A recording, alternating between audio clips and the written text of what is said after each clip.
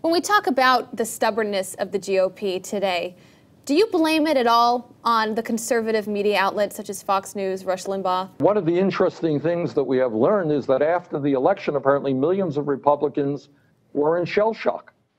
They had a hard time believing that Barack Obama could win the election, had the support of people all across the country, when they were told over and over again that, you know, Obama, everybody hates Obama and so forth and so on. I worry very much that some of these guys are living in a parallel universe.